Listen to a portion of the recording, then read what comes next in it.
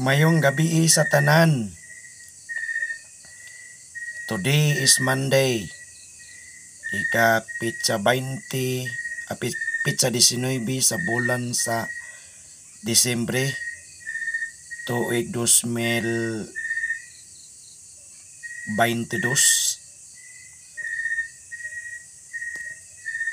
So, tuguti ako gamay mga igsuon o paghalad sa mubo nga halad nga pagampo. Balaan nga makagagahom. Inong Hesus Kristo ang tagya sa akong kinabuhi. Mas mapasalamaton ako dako uyamot kanimo. Sa tanang mga higayon nga mga imong gihatag diri kanako sa grasya nga makita ug sa grasya nga dili makita nga kanunay akong enjoy. Ug hinaot nga dili mo ako pasagdan sa tanan ng mga butang nga akong gisagubang nining kalibutana. Ug wag tangan na kining among mga problema. Kining tanan na akong gihangad.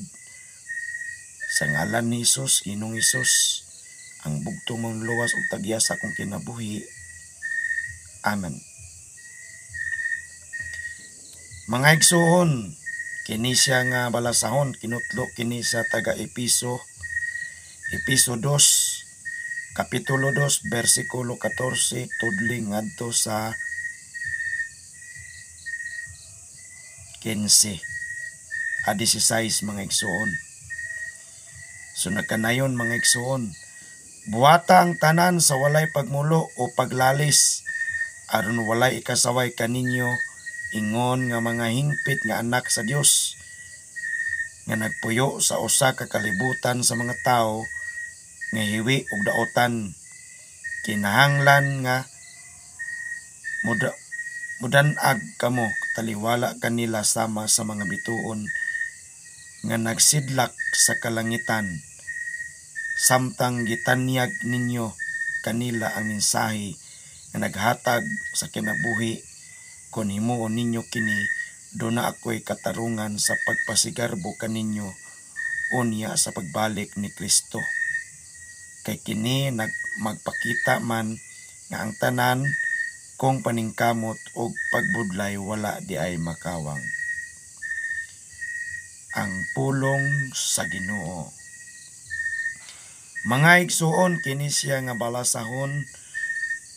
Iya kini sa taga Episo o para kini sa mga taga Episo no? Nga sulat kini siya aron pagpagpahimang no pagpadayon sa pag-evangelize sa pulong sa Ginoo nga dili lang sa pag-evangelize apan ang panulti ug ang buhat magauban kana aron nga dili kana masaway matud pa kuno dinhi no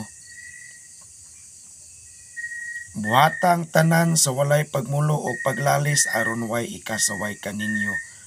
Ingon nga ang hingpit, hing, nga hingpit, mga hingpit nga anak sa Dios. So mga igsuon, hinaot nga kita manarbaho kita nga walay pagbagulbol. No? Nga kung kaya lang unta, padayono nato o kayano nato kay mo man kana ang atong trabaho. Kay nanarbaho man kita no, isip atong ilakbit lang taw din ni aning Biblia mga igsoon nga ingon pa kini din niya din no kay himuon ninyo kini na ako'y katarungan sa pagpasigarbo. Kaninyo unya sa pagbalik ni Kristo. Kay kini magpakita man nga ang tanan kong paningkamot o pagbudlay wala di ay makawang. So kini siya nga balasahon mga igsoon sanglit. Iya kini sa propeta nga sulat kini para sa mga taga Episo.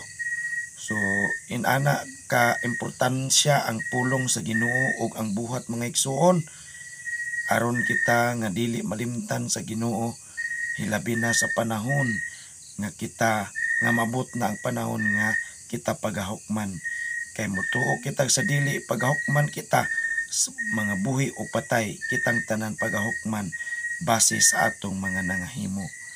So kung nalipay kamo sa akong mga sa akong video mga igsoon, palihog kog subscribe sa akong channel kang Papos Vlog ug i-share kini ngadto sa imong mga higala. Aron nga mudaghan kita o ginaot nga magdaghan kita no? O kung nalipay gayud ka mo pl- please man no touch the notification bell below para ma update ka mo sa mga susunod kong mga video. So dagan salamat mga igsuon og dalaygon ang imong Dios og dalaygon ang nagbuhat kanimo